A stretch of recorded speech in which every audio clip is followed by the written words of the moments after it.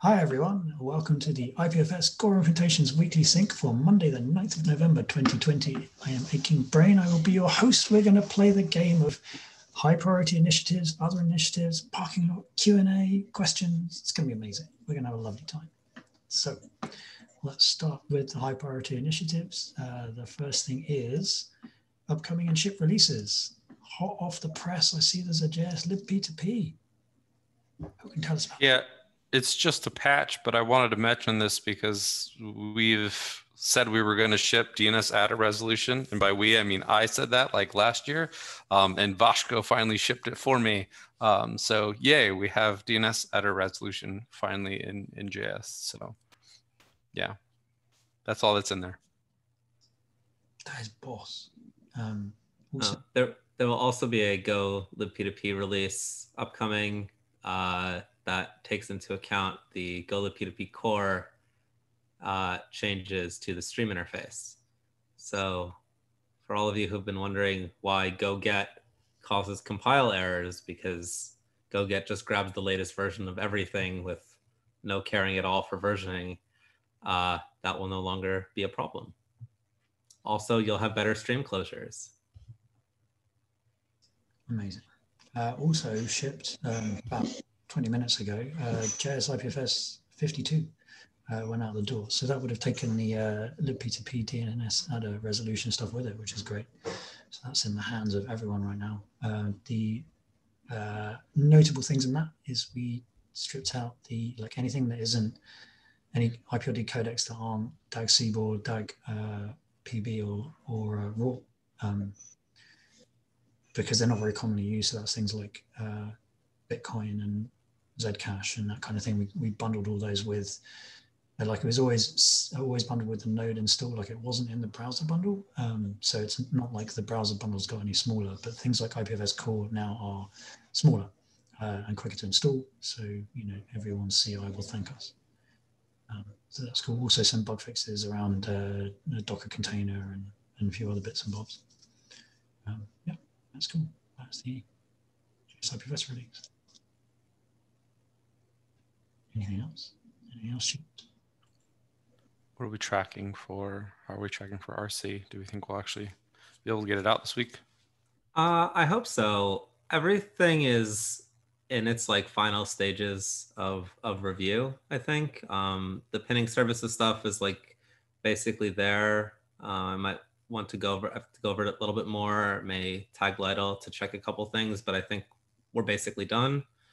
Um, last I checked, it was just like adding some tests. Uh, and Andrew's stuff is also good. I think maybe there's C- some CI struggles, but resolved that, as long as far as I can tell.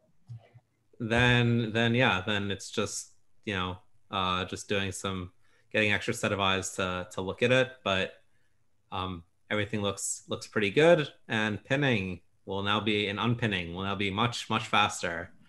Um, so, so folks with lots of pins will be very happy about that.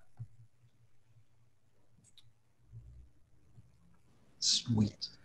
There's also, um, I don't know if it will be, it doesn't have to hold up the RC, um, but for for the release, uh, there's a an up, we need an updated version of WebUI that will utilize the pinning service um, rem remote API.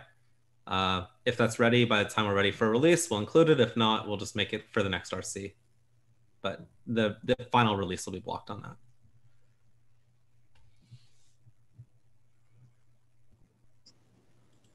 Cool. On from uh, ship releases, next up is the pinning services. I think we just covered that.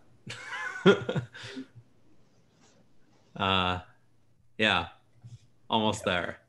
Migrations are ready to go. I just uh, just a final review and uh, should be ready to include that in the release. Then once things are merged, shore up the uh, the dependencies, uh, make sure everything double check that. But uh, we're ready to go.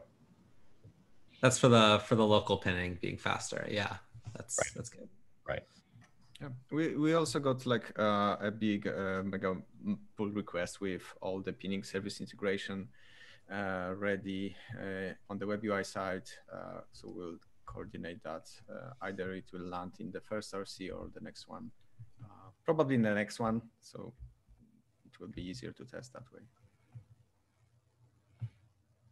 It'll be good. Either way, I'd like for the uh to get an RC out sooner so we can get some of the folks with like a bajillion pins to use the new stuff and be like, yay, it's way faster, or oh my god, you broke everything, please fix. And then we can do that before the release.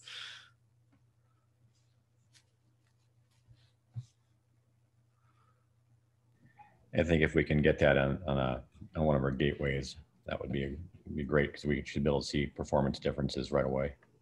Uh, the gateways won't really help because the gateways don't pin anything because Oh, they are? Oh, they're okay. they're they're like garbage collecting everything that comes in. But but like the folks over at Pinata and stuff will notice this like immediately. Okay, great. We can, yeah, that would, that, just something to test it at scale would, I think would be a good demonstration. Could we run that on our clusters though? Because Uh, we do pin that's on the clusters. That's a great question. Um, I will ping Hector and Infra folks. I mean, I'm, I'm sure we're pinning stuff there. So, but I, I just don't know if it's like I'm a big pretty enough issue for anyone to, for it to bother anyone. Yeah, because I know our like local pin bot is, I believe it's using the cluster. So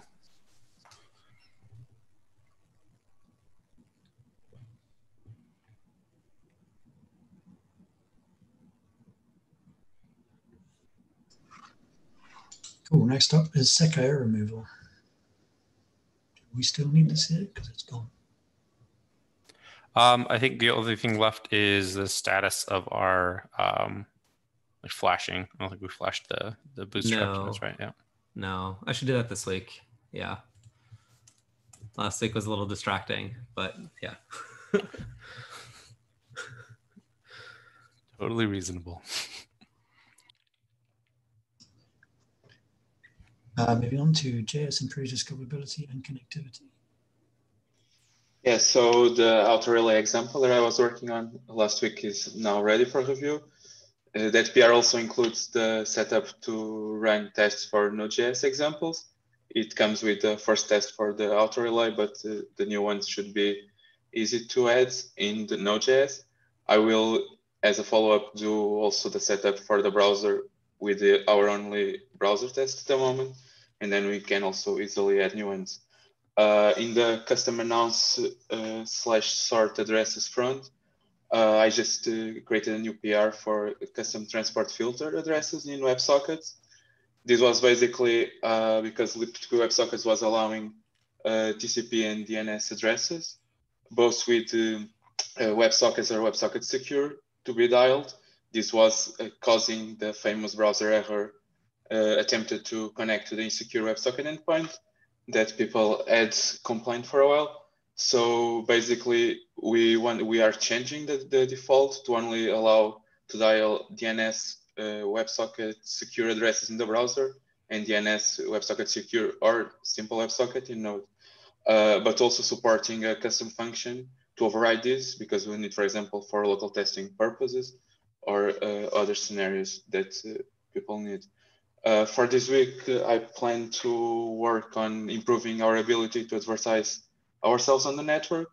Uh, I've synced with Jacob earlier today, and I will work on uh, the peer routing subsystem. Basically, we want to find and connect to the closest peers that uh, we know over time in order to exchange our signed peer records and make our visibility in the network better. Um, and with this, I will also work on the production guides for the relay and the rendezvous, as we want to have good documentation on how people should set up their infra before launching this on the next libp2p release. And yeah, that's it for this.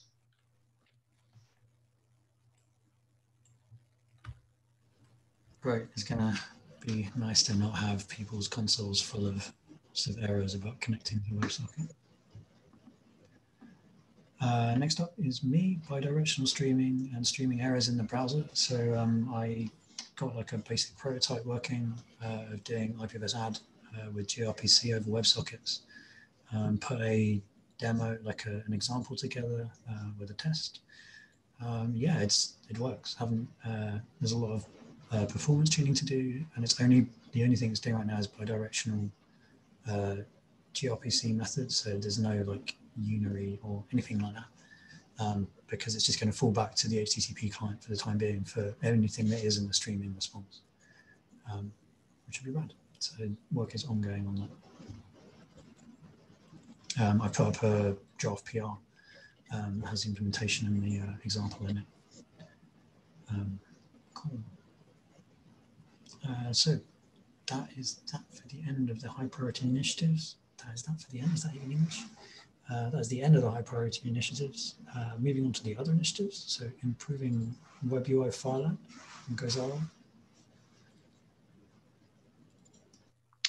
Um, um, I'm blocked on the review. Alex, if you can get the IPI utils patch reviewed at some point, that would be really helpful. Um, once we land, then we can do the IPFS patch review too. Um, I think we'll need that regardless if we get the bidirectional streaming sync that you're working on because uh, not we won't have it for the Go IPFS, right? Uh, the next one is also mine. Uh, that is uh, TypeScript one. Um, so there's a bunch of uh, new changes in a PR that is linked in the notes. Uh, it removes some of the type magics that we had in place to try to work around the API manager swapping APIs uh, by removing API manager and uh, adding a bunch of other types. I also kind of spent some time looking into the issues that turns out uh, TypeScript has. So uh, it does omit uh, type parameters in generated types uh, which is not great because then it turns them into any's or it would complain when people are when people have a structure of a setting set in their projects because emitted types are not technically valid TypeScript. Um, so I don't know, uh, team at Microsoft seems to recognize that is an issue, but uh, it's gonna be a while before it's fixed. And I was trying to see if I can fix it so we don't have to wait it too much. But it's not non-trivial. So there's another issue that turns out kind of intertwined with this. So TypeScript has a notion of interfaces and types. And you can import interfaces in TypeScript syntax, but you can only import types in JS doc syntax. Uh, but then you can't implement type, you can implement interface. Anyway, um, yeah, sorry for bubbling, but there's a bunch of things that still need to be work out, worked out. Uh, I also put another item, which was uh, last couple of weeks, people had been some expressing interest in shared worker stuff in within the service worker. So that prompted me to do some work there. I wrote an example uh, that is a PR now to a JS IPFS uh, that tries to exercise all of those things and show how you, they can, can be wired. Uh, there are some interesting findings there too that I hope to kind of write about and include in a blog post. Uh, namely, there are a bunch of limitations with how shared workers work, uh, sorry, service workers work. Um, and I think we might have to think more about how we can uh, work within those limitations rather than trying to fight them. Uh, but yeah, I think I'll try to capture it somewhere else and share.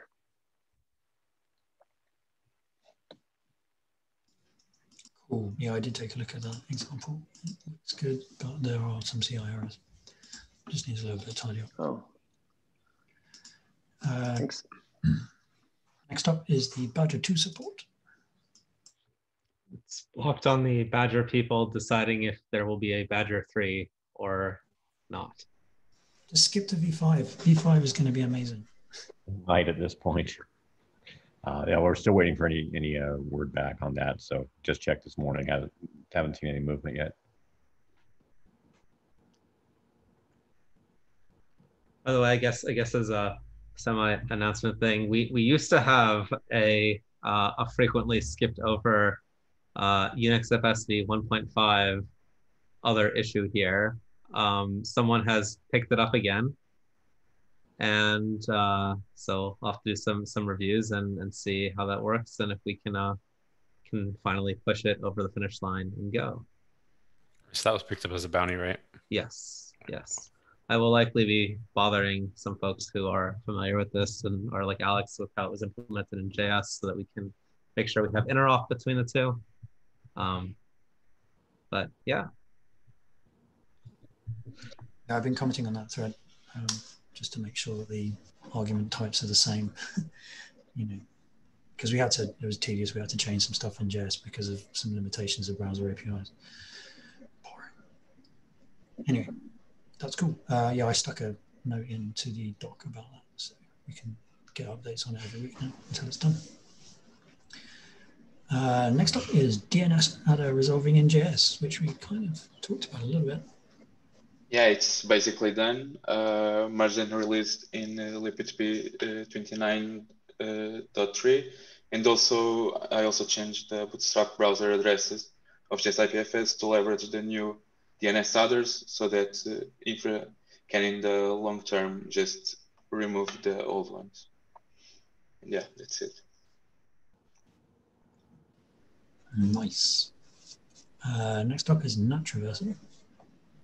Yeah, so Aarsh is back on libp2p. He's working on NAT traversal, um, linked to the main issue there, and there are a slew of them in Go libp2p. Um, there's a lot of things that we need to do to make that work for everything. Um, but the focus initially, right now, he's working on getting metrics to figure out what the current state of dialability on the network is so that we have a baseline. Um, and then from there is going to start on uh, the QUIC hole punching story.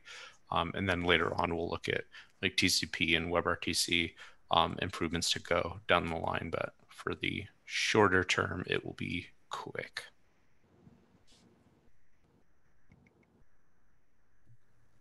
Uh, uh, I guess I, I, left some comments on that doc, but is the plan to be using uh, using relays or not using relays initially? Well, we have to use relays regardless, but you're talking about like data exchange relays versus just yeah, versus like our own whatever thing. Yeah, I think right now the initial is to do um, data relays and figure out that, but um, we can we can have that conversation more this week to really really button that down. Yeah. So for anybody who's not clear what that is, it's the idea that we just do hole punching strategy through relays, and if that fails, you continue to just exchange data over the relay um, versus having a relay coordinate the hole punch for you so that you don't actually run any data that's not related to the hole punch. Um, this is like a bandwidth saving thing for the relay and having hole punching relays versus like data exchange relays um, was mostly cost effective scenarios there. Um, pros and cons to both strategies. The dean has mentioned that in the issue. We will try to figure out that soon, which one we want to do. Um, but yeah, if you have opinions, scream in my direction.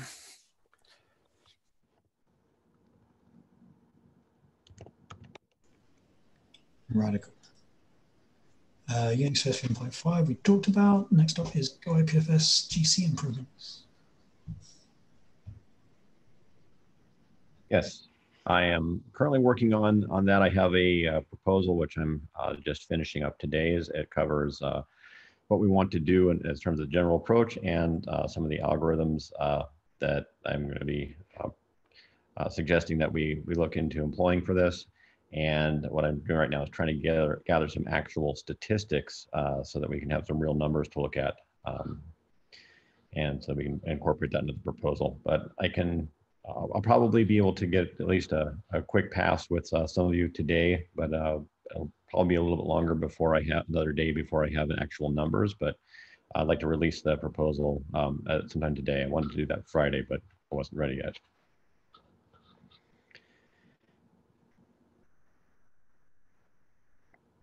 So I don't have any anything else other than that proposal yet. Um, but uh, there's, like I said, I, I will post that uh, today. And if there's any any questions, um, we can we can address it as part of the proposal. Sounds bueno. Thank you. Nice. Okay, that is the end of the other initiatives. Um, moving on to the extra bits at the end. So design review proposals. Does anybody have anything they'd like to propose? Design? Well, I should today. Um, I don't know if we want to, do I, should I um, post a formal proposal uh, as part of a, on a, particular forum, or should we just uh, reach out to individuals and, and uh, look for initial design review on this? So you would create a description of the thing that you want reviewed, uh, let people put their names down, and then find a time to go through it. Okay.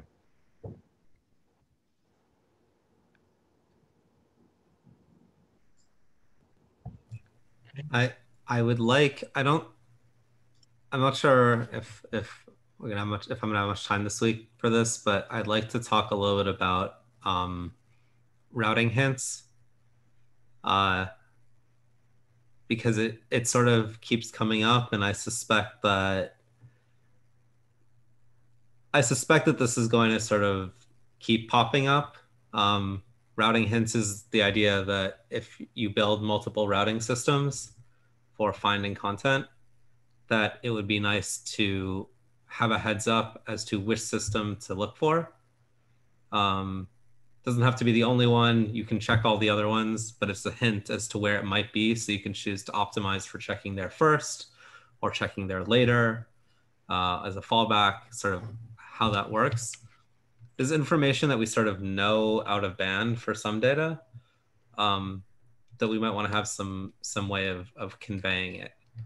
Um, yeah, so I, I don't think this is going to be that would be this week, but perhaps if, if people are interested in brainstorming, then we can do some GitHub stuff this week and design review next week.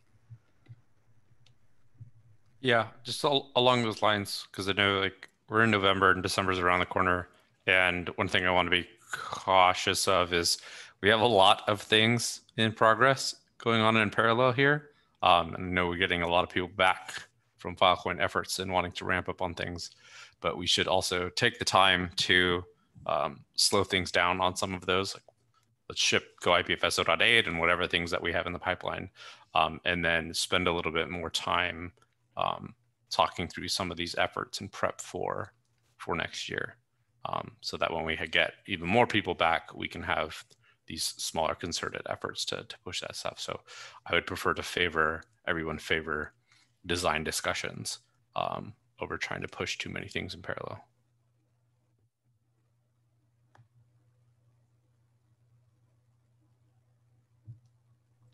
Uh, Adin, uh, about the routing hints, uh, I think it's also, I just want to point out that uh, textile threads do, do something along those lines. Uh, so it might be worth also looking at and talking to them about it. And there specific use cases?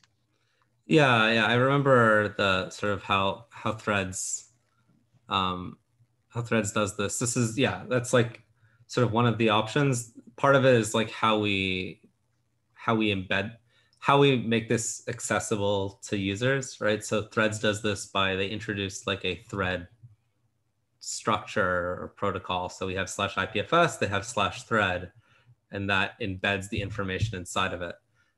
Maybe that's what we want. Maybe it's something else. Um, and this also probably relates to Steven's like multipath proposal, which went up uh, a week or so ago. Um, there are, yeah i think it's i think it's related to how we interact with that as well. Basically generalizing paths instead of multiaddrs that we can say multiaddr points at a machine but a multi-path can point at a system like threads yeah I, I just wanted to make sure that whatever we end up with will enable will actually generalize over what textile is also doing rather than not be able to capture that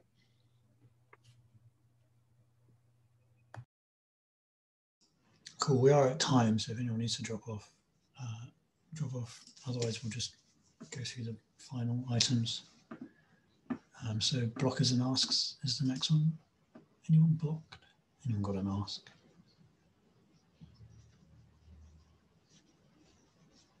Anyone got any questions?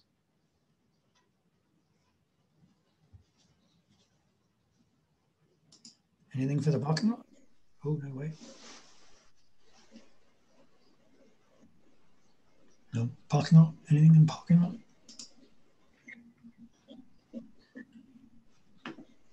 Amazing. I think we're all done. Thanks everyone for coming. Uh, this has been the update for the 9th of November 2020. Uh, if you could please fill in your async reviews, that would be amazing. Thank you so much. Uh, see you all on the internet. Bye. Bye.